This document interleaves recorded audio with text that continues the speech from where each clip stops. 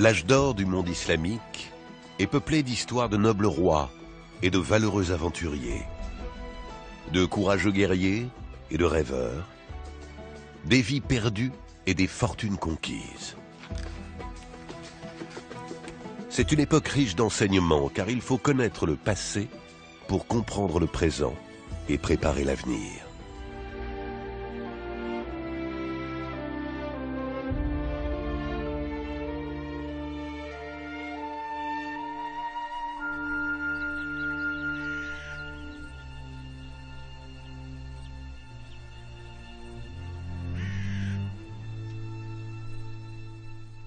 Je vais vous parler du magnifique sidra, cet arbre qui s'élève là où rien d'autre ne pousse. Depuis des siècles, il sert d'abri aux poètes et aux érudits, aux pèlerins et aux marchands, qui échangent des histoires à l'ombre de ses branches.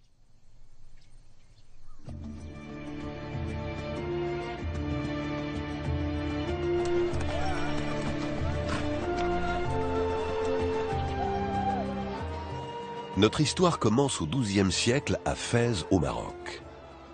Nous sommes à l'apogée de l'âge d'or de la civilisation islamique.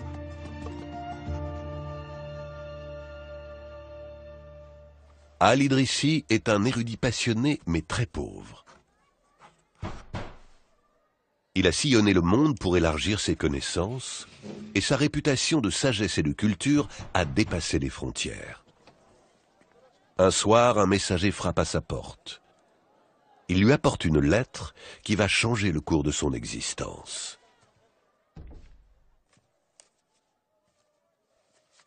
Avant que je ne vous dise ce que contient cette lettre, il nous faut parcourir des centaines de lieues jusqu'en Sicile, au bord de la Méditerranée, pour rencontrer celui qui l'a écrite.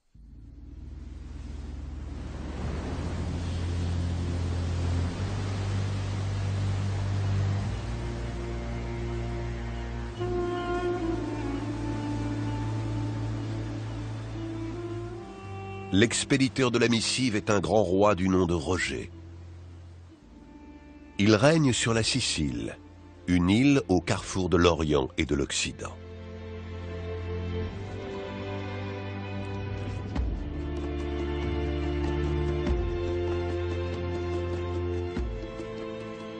Dans son royaume, chrétiens, musulmans et juifs cohabitent pacifiquement à une époque où les croisades ont apporté la haine et la guerre dans de nombreuses contrées.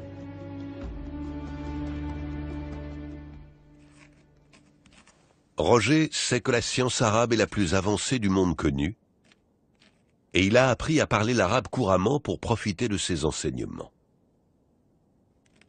Désireux de rencontrer Al-Idrissi, il l'invite à venir en Sicile. Le roi a un projet extrêmement audacieux à lui proposer, un projet qui va stupéfier le monde. L'invitation est beaucoup trop tentante pour qu'on puisse la refuser. Al-Idrissi embarque donc courageusement pour l'Europe, sans savoir ce qu'il doit attendre d'un roi chrétien dans un pays hostile.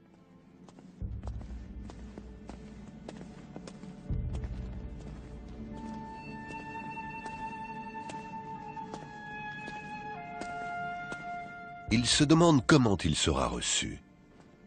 Peut-être se précipite-t-il tête la première dans un piège.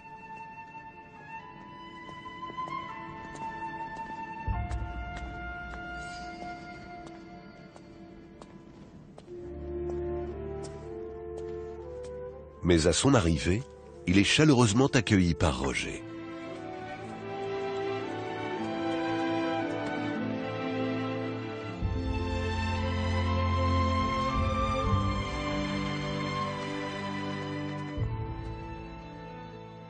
Le roi lui révèle enfin pourquoi il l'a fait venir de si loin. Al-Idrissi est stupéfait.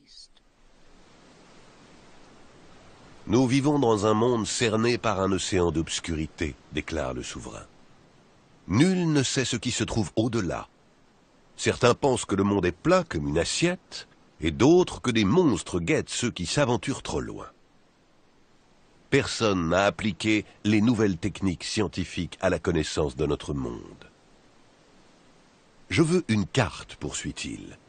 Une carte du monde. Et un compte-rendu de tout ce qui est connu du monde aujourd'hui.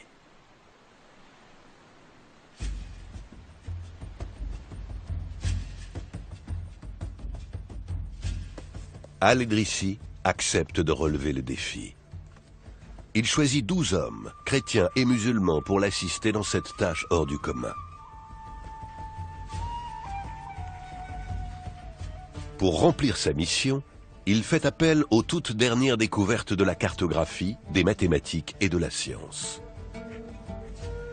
Sous sa supervision attentive, les douze hommes lisent, se documentent, calculent rassemble des données.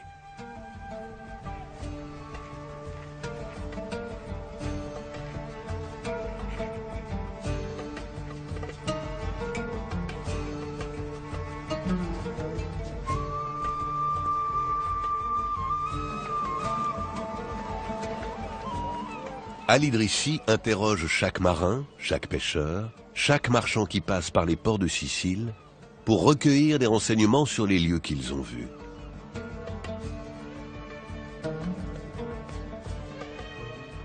Beaucoup lui racontent des anecdotes hautes en couleurs sur des terres lointaines. Mais si Al-Idrissi apprécie les talents de conteur des marins, ce qu'il recherche, lui, c'est la vérité.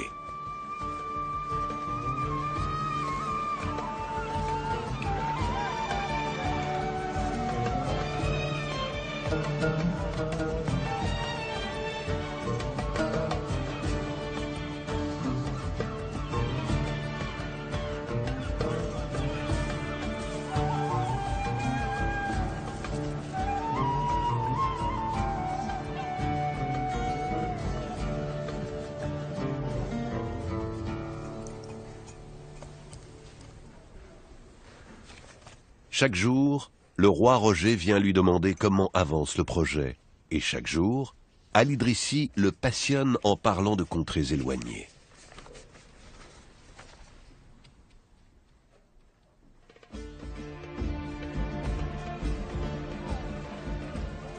Mais le géographe lui parle aussi des rumeurs qu'il entend. Les ennemis du roi s'accrochent au passé et se méfient de cette soif de savoir.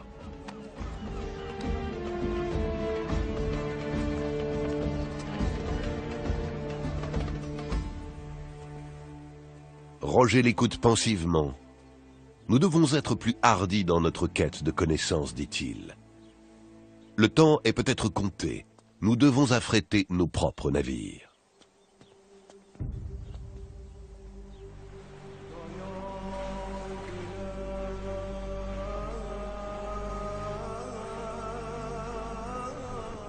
Al-Idrissi réunit donc des marins courageux et endurcis, et après des mois de préparatifs, les navires appareillent enfin. Ils mettent le cap sur des eaux encore inexplorées. Ils ne savent ni ce qu'ils vont y trouver, ni même s'ils reviendront un jour.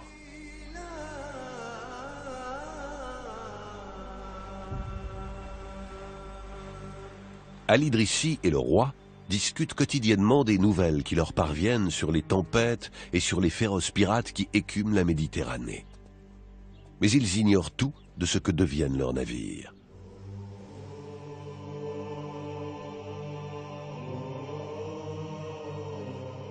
Le géographe passe de nombreux mois à attendre avec anxiété.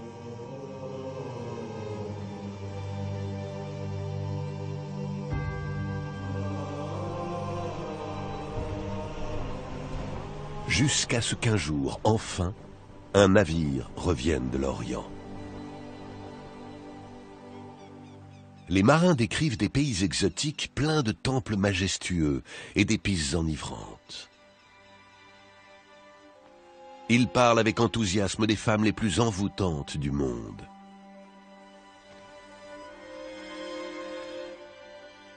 Tout est consigné par les assistants d'Al-Idrissi.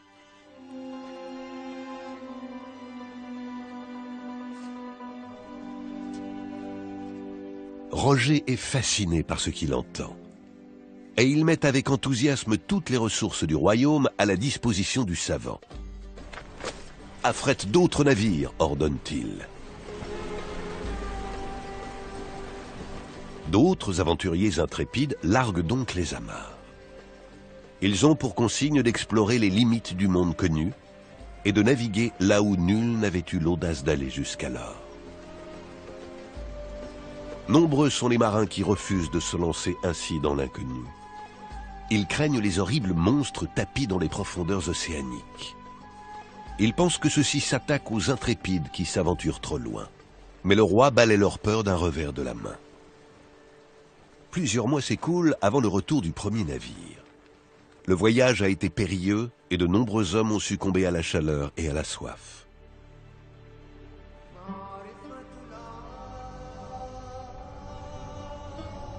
Ils ont mis le cap vers le sud, raconte-t-il, vers un monde de sable brûlant, où des nomades errent perpétuellement avec leurs dromadaires à la recherche d'eau.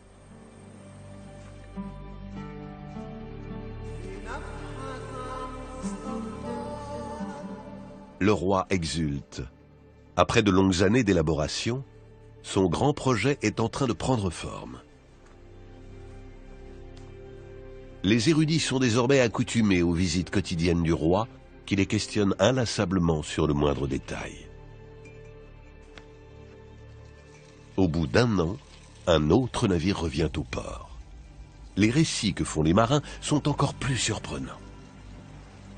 Ils parlent de terre où règne un hiver éternel, où le soleil ne brille jamais et où une neige glacée tombe du ciel.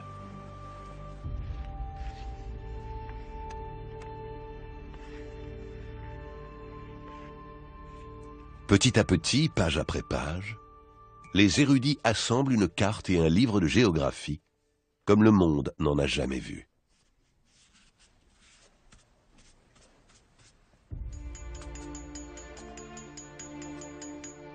Roger est si passionné par leur découverte qu'il ordonne aux meilleurs orfèvres de son royaume de confectionner un planisphère d'argent.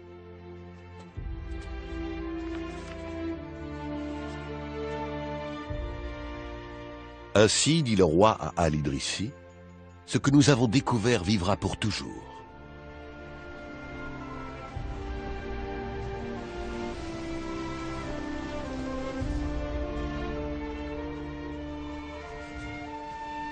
Mais l'enthousiasme d'Al-Idrissi est tempéré par le fait qu'un des navires n'est toujours pas revenu. Le géographe craint le pire il a peur qu'il ne se soit perdu à jamais dans l'océan de l'Ouest.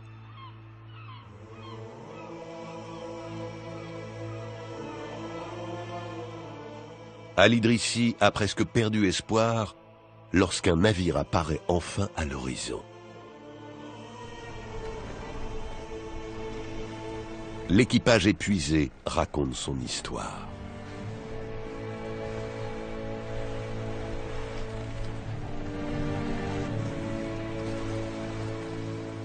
Ils sont allés jusqu'aux confins occidentaux du monde connu. Mais malgré toutes leurs tentatives, ils n'ont pu trouver de passage. Les vagues étaient hautes comme de redoutables montagnes.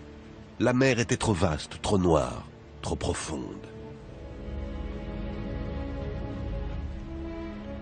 Et sur le chemin du retour, ils ont entendu parler de complots grandissants contre Roger.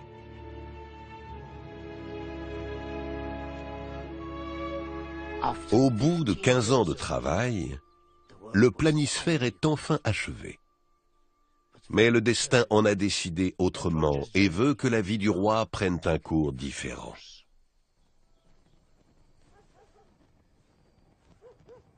Le roi est malade.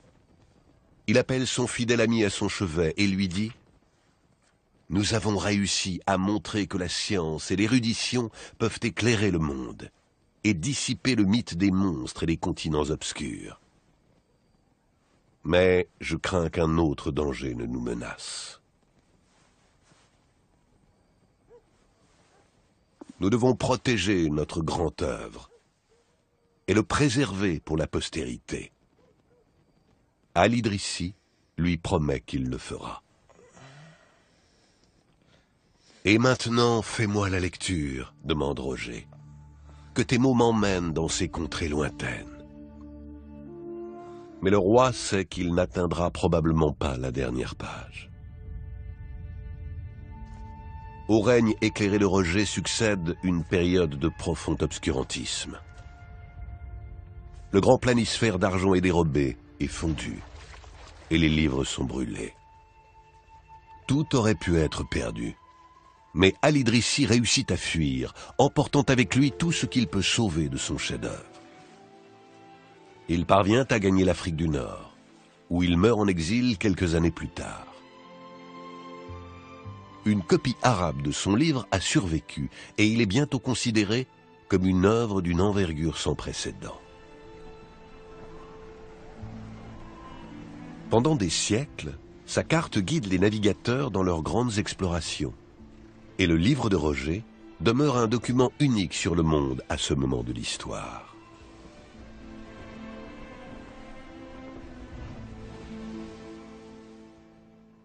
Telle est l'histoire de deux grands hommes dont les explorations nous ont légué non seulement une carte du monde, mais aussi un témoignage de tolérance et d'ouverture d'esprit.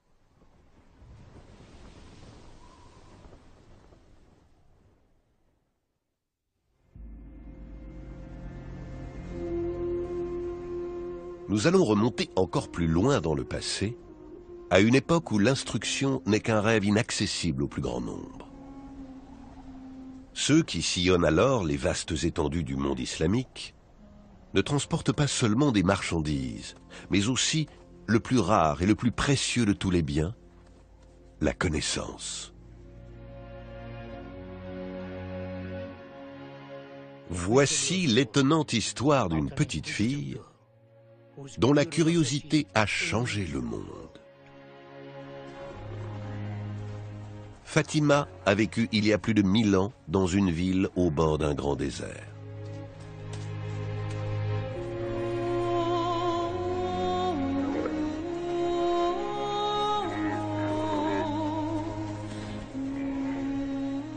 L'insatiable curiosité de Fatima sur le monde qui l'entoure va lui faire vivre de nombreuses aventures. Elle a tant de questions à poser. Il y a tellement de gens qui ont des histoires à raconter.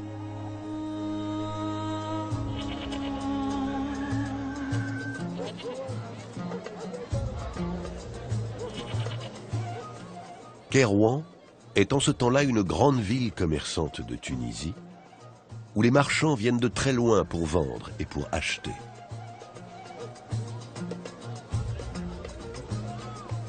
Les souks sont remplis de soie, d'épices, de bijoux et de métaux précieux.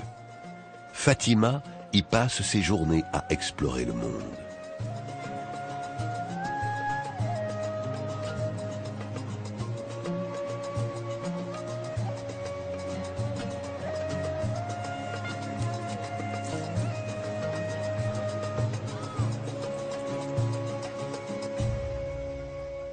Fatima a l'air d'une enfant heureuse. Mais derrière son sourire se cache une profonde tristesse.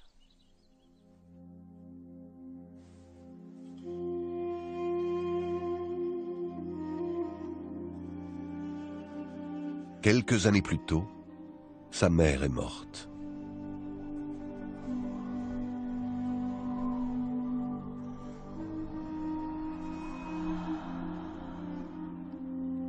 Son père se retrouve donc seul pour élever Fatima et sa sœur.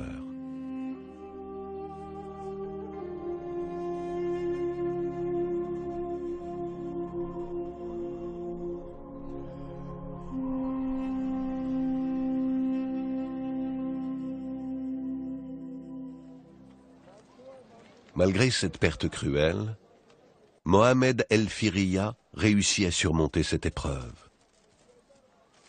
il élève Fatima et sa sœur Mariam avec amour et sollicitude. Mariam est douce et pleine de bon sens. Elle tient la maison pour venir en aide à son père. Mais Mohamed voit bien que la mort de sa mère pèse toujours sur Fatima comme un lourd fardeau. Il s'inquiète pour sa fille.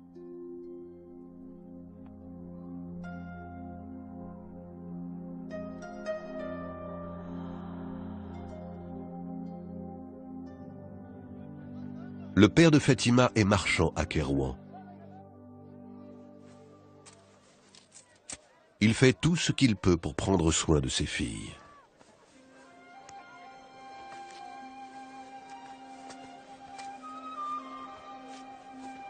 Fatima suit son père comme une ombre alors qu'il va qu'à ses affaires.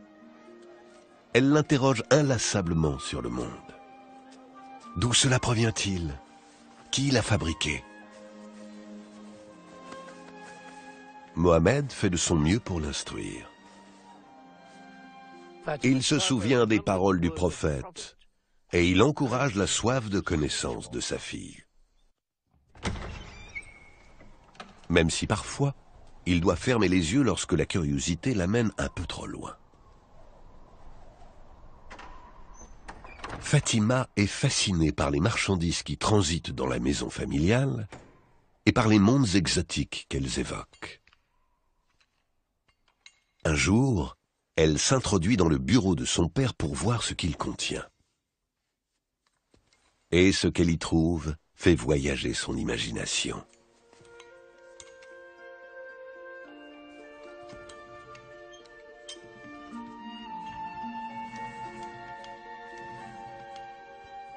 Elle veut savoir qui a nommé les étoiles et comment les savants mesurent les galaxies.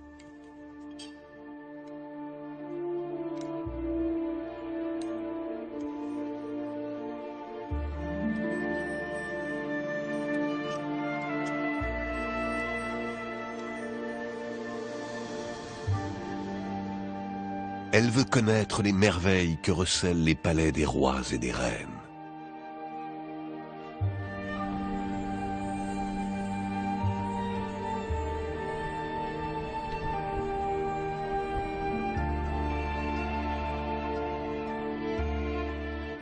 Elle veut parler aux explorateurs qui ont navigué jusqu'aux confins du monde.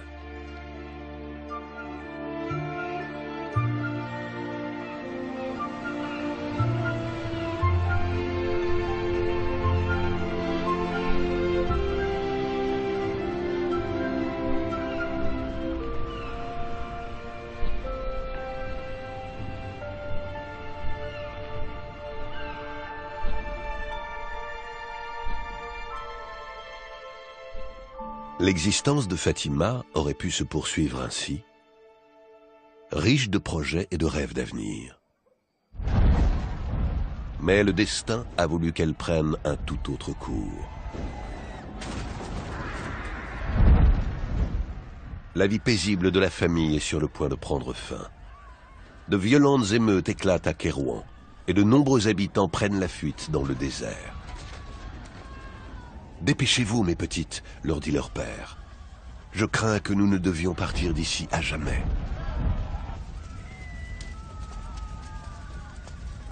Rassemblant à la hâte quelques affaires, le père emmène ses filles. Ils se mettent en route vers un avenir incertain.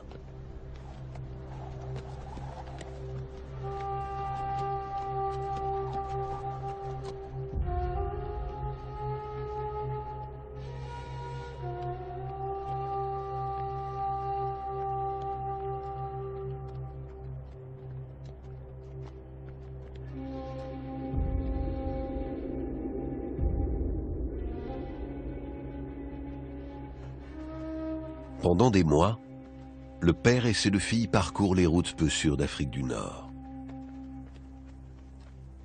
Ils évitent les villes où la violence et l'agitation font rage et traversent de vastes étendues de désert et de montagnes.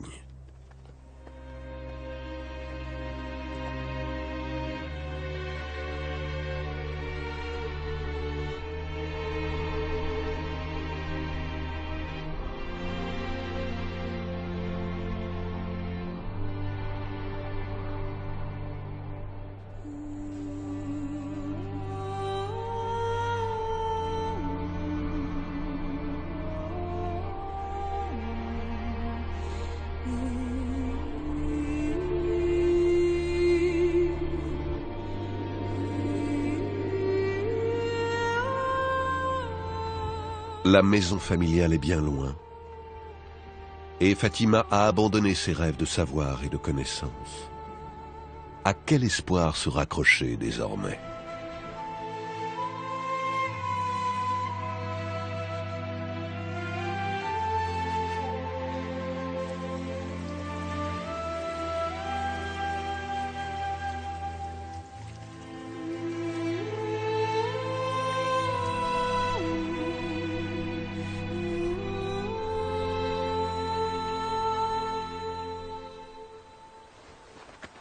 Ils atteignent finalement les faubourgs de Fès, au Maroc. Le père annonce à ses filles épuisées que c'est là qu'ils vont poser leurs bagages et commencer une nouvelle vie. Fatima doit donc oublier son enfance à Kérouan et se tourner vers l'avenir.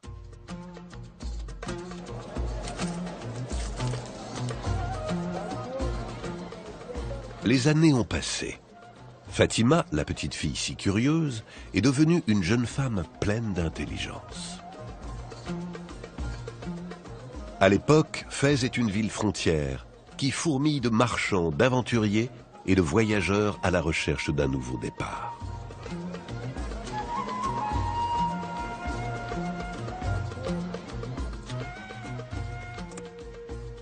Peu à peu, les affaires ont repris pour le père de Fatima. Et Mariam, sa sœur, s'occupe toujours de la maison.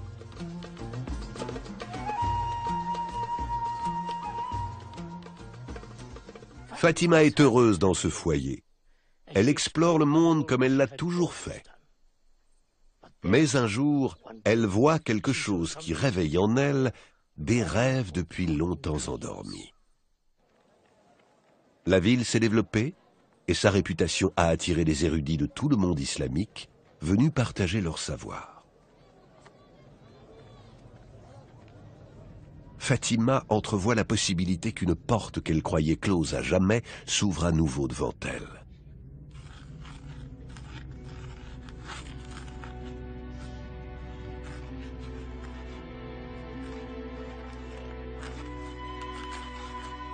Chaque jour, elle arpente la ville, non plus à la recherche de soie et d'épices, mais d'une marchandise plus précieuse que toutes les autres, la connaissance.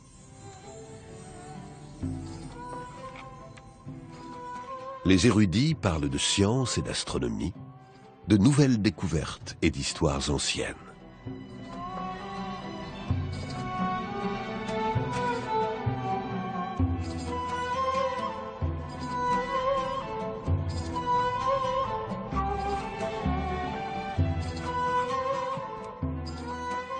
Le père de Fatima est redevenu un homme riche. Mais Fatima n'a pas envie de bijoux et de beaux habits.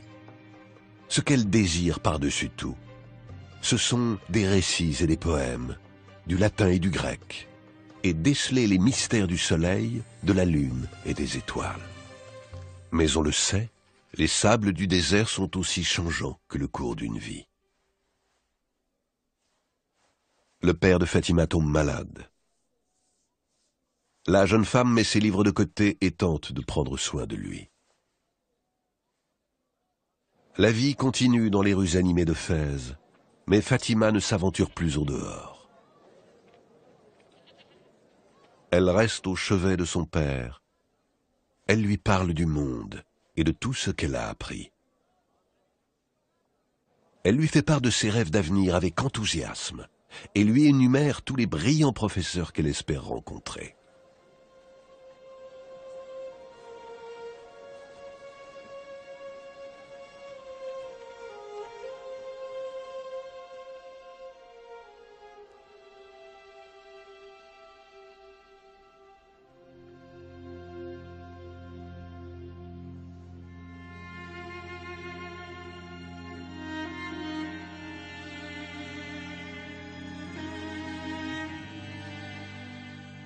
Mais les semaines passent et l'état de Mohamed El Firiya ne montre aucun signe d'amélioration. L'inquiétude gagne Mariam et Fatima. Elles font venir les meilleurs médecins, mais leurs espoirs sont vains. Leur père adoré prend congé de ce monde.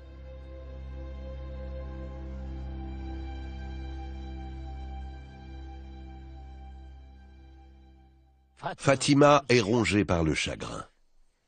Elle mange à peine, elle ne dort plus, et ses livres se couvrent de poussière. Pourquoi a-t-elle gâché un temps si précieux en d'inutiles études? Tout ce qu'elle aime a disparu.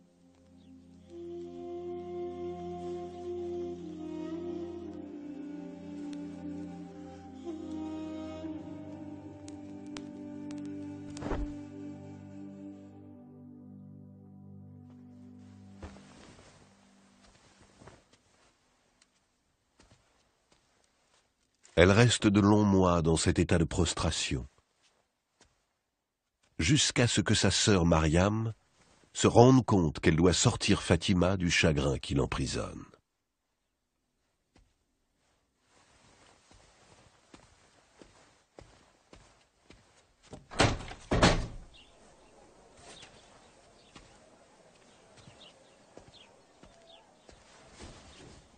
Père serait triste de te voir tomber en poussière comme cela, dit Mariam à sa sœur. Nous devons penser à l'avenir, maintenant. Fatima revient donc là où tout a commencé. Elle pense à ce qu'elle a perdu, mais aussi à ce qu'elle a trouvé. Elle se débarrasse des vêtements de deuil qui la dissimulent depuis si longtemps.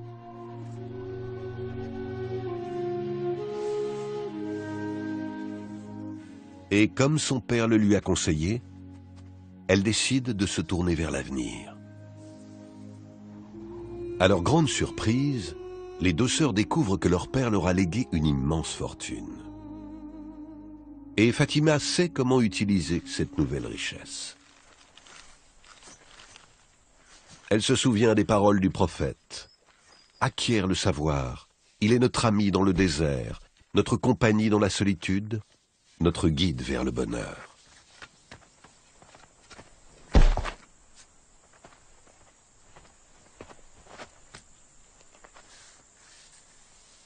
Fatima décide alors de financer la construction d'une mosquée dans sa ville. C'est elle qui pose la première pierre de l'édifice, réalisée avec des matériaux venus du pays de son père. Ce sera la mosquée Al-Karawin.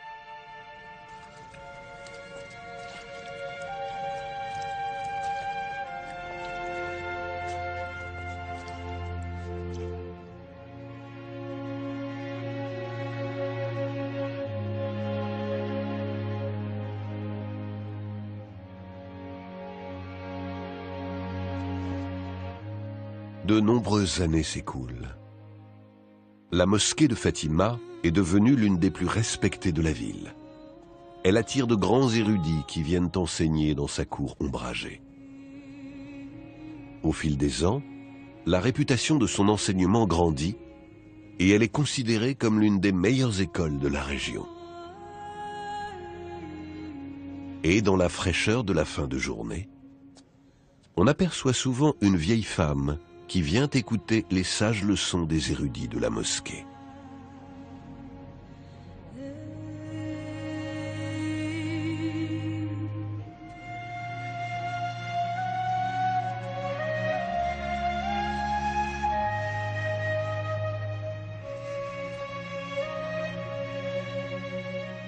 Aujourd'hui, la mosquée de Fatima, qui est devenue l'université de Fès, est le centre d'enseignement en activité le plus ancien du monde.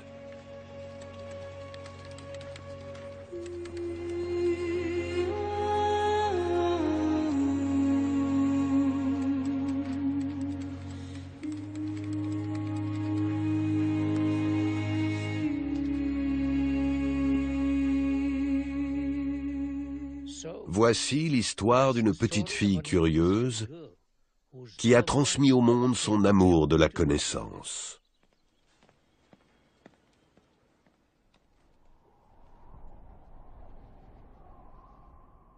Quatre cents ans se sont écoulés depuis que Fatima s'est mise en quête de la connaissance. Nous sommes maintenant au XIIIe siècle, période durant laquelle les médecins et les savants du monde islamique sont parmi les meilleurs. leur clairvoyance est sur le point de changer l'histoire.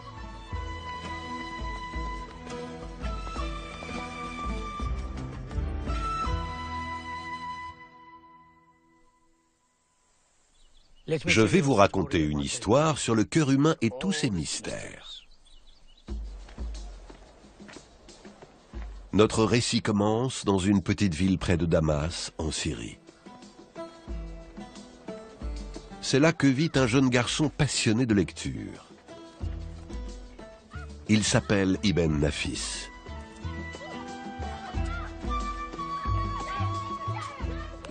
Ses amis passent leur temps à jouer et à s'amuser.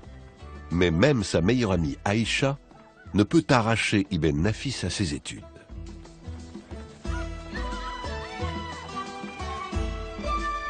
Son intelligence et sa curiosité vont le mener à de grandes choses.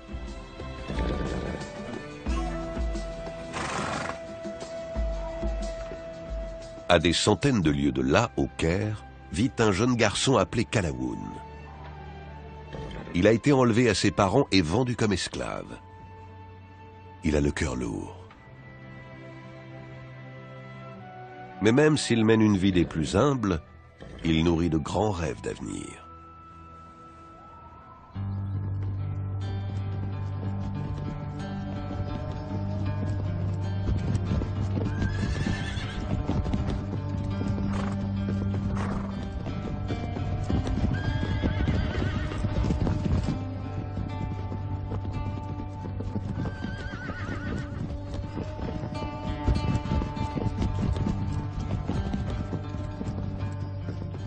Le temps a passé, et les deux garçonnets sont désormais des hommes.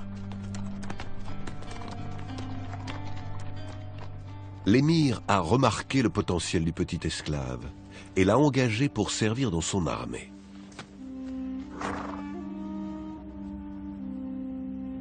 Kalawoun fait preuve de force, de bravoure, d'intelligence et de loyauté. Il est bientôt nommé capitaine.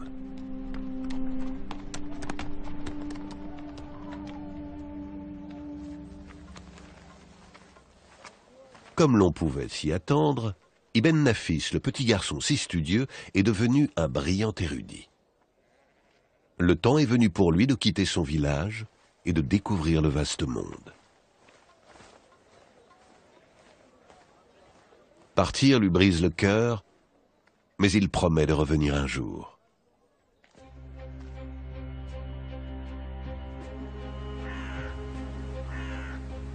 Ibn Nafis se rend dans la grande ville de Damas.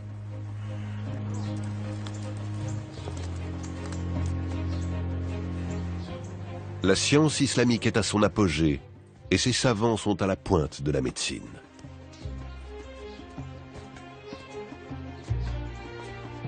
À Damas, on vient de construire l'un des premiers hôpitaux pour le traitement des malades. La rumeur de sa splendeur et de sa modernité attire Ibn Nafis à sa porte.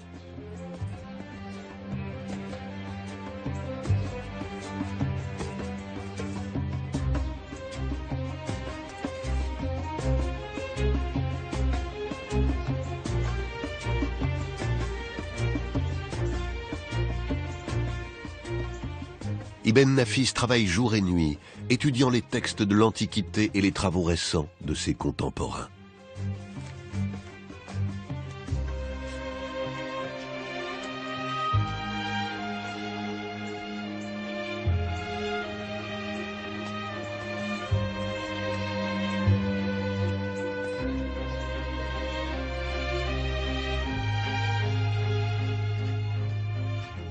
Il se laisse emporter par l'excitation de ses découvertes, tout en rêvant du jour où il reviendra dans son village, auréolé du statut d'illustre médecin.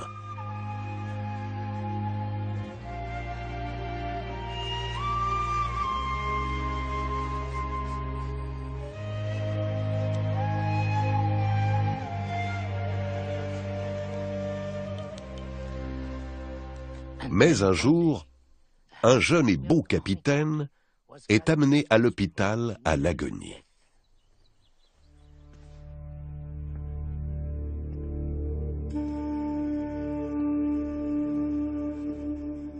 C'est Kalaoun, Il a été gravement blessé au combat.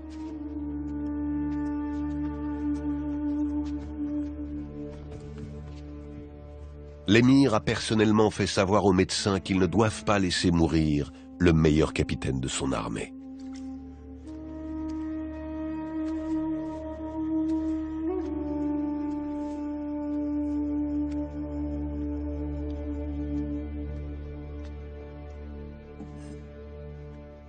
Les autres docteurs abandonnent vite tout espoir. Le blessé est trop près de la mort. Mais Ibn Nafis est bien décidé à mettre à profit tout ce qu'il a appris pour sauver la vie du jeune militaire.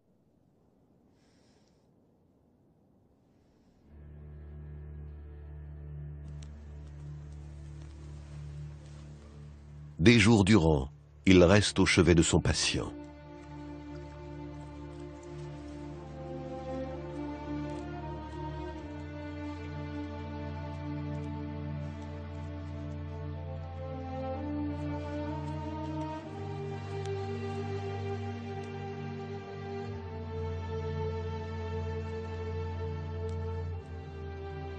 Même si parfois il laisse son esprit vagabonder.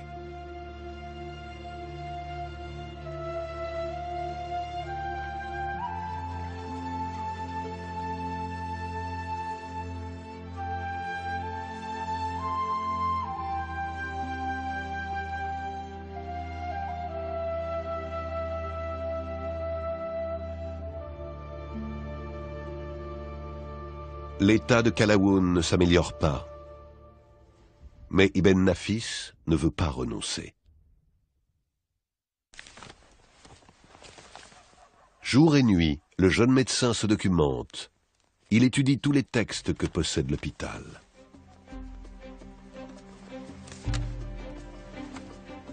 Il s'intéresse à l'alimentation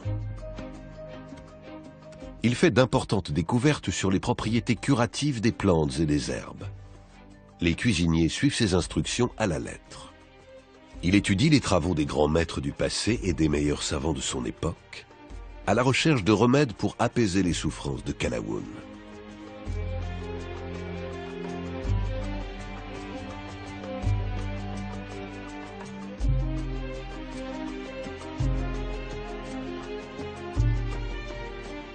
Les mois passent.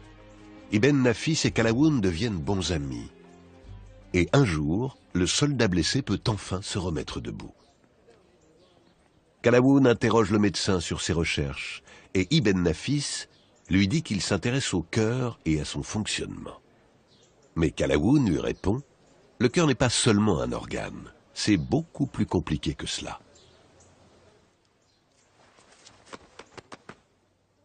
Le fier capitaine finit par guérir complètement, et il peut désormais se passer des soins de son médecin et ami.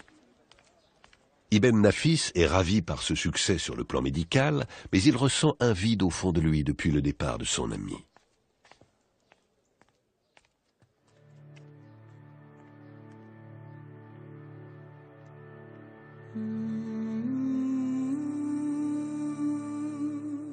Cela fait trop longtemps qu'il est parti.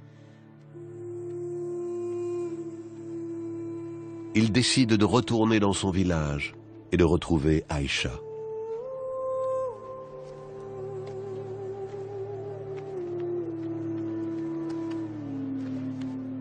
Mais sa bien-aimée est déjà mariée. Ibn Nafis a trop attendu.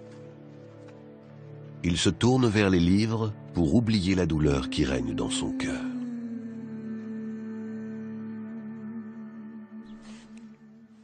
Il ne cherche plus à soigner les malades, mais passe de longues années plongé dans des recherches solitaires.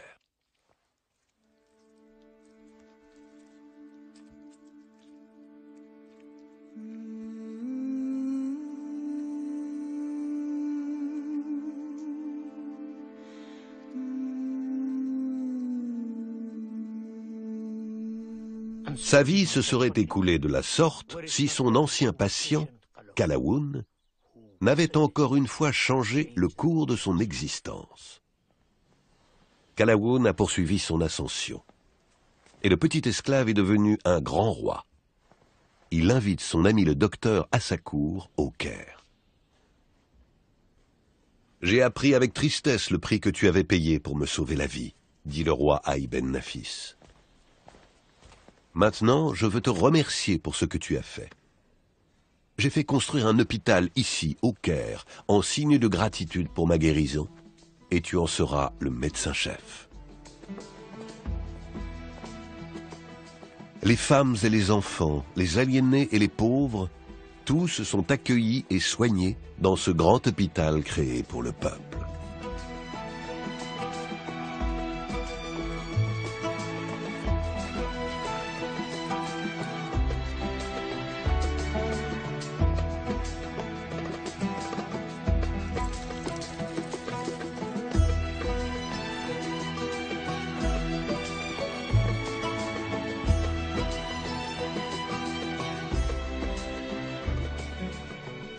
Les deux hommes sont morts à quelques années d'intervalle.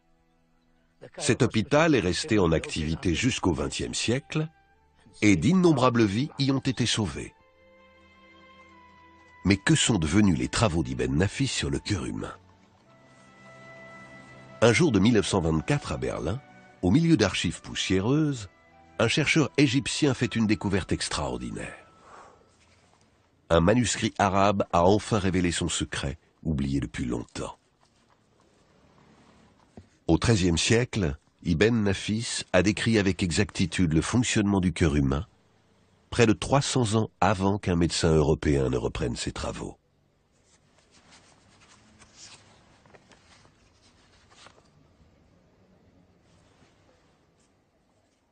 Cette histoire nous montre l'importance et la diversité des fonctions du cœur humain.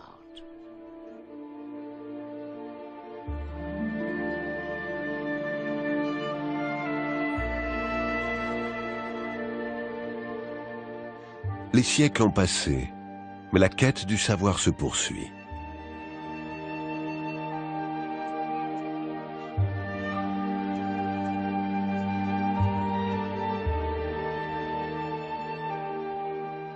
Partout dans le monde, des hommes et des femmes repoussent les limites de la connaissance. L'entraide et l'amitié favorisent toujours les grandes découvertes.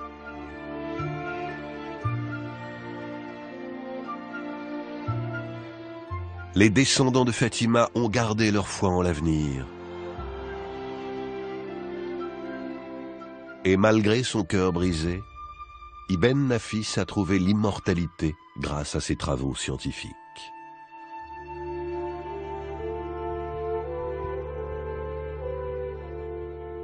Les rêves de ceux qui nous ont précédés sont partagés par les pionniers d'aujourd'hui. Et d'autres, après eux, reprendront le flambeau.